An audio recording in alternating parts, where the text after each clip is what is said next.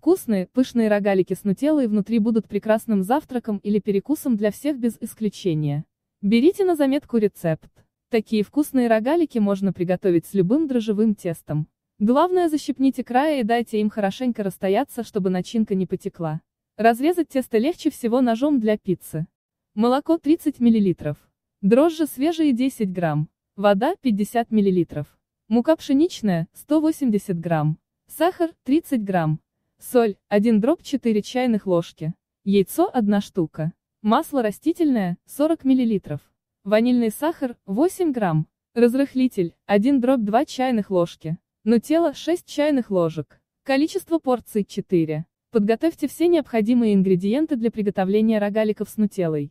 В миску просите муку, добавьте разрыхлитель и соль, ванилин, перемешайте. В половину молока и воды выложите дрожжи, сахар и перемешайте.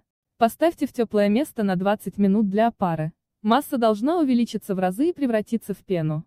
Молоко и воду, которые остались, соедините и разбейте туда яйцо, перемешайте. В смесь с молоком добавьте растительное масло и опару, перемешайте. Добавьте в массу просеянную муку с солью и разрыхлителем. Замесите мягкое, не липкое и гладкое тесто. Выложите его в глубокую миску, накройте. Поставьте в теплое место на 40-60 минут для подъема. Подошедшее тесто выложите на стол, посыпанный мукой и разделите на две части и скатайте в шарики. Накройте и дайте постоять 10 минут. Раскатайте каждый в круг толщиной 0,7 мм и разрежьте на сегменты. На широкий край треугольников выложите шоколадную пасту. Сверните рогалики от широкого края к узкому. Защипните края, чтобы паста не вытекла.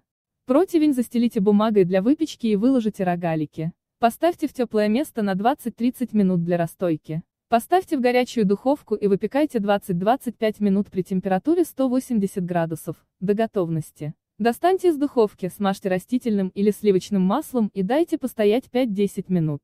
Приятного аппетита!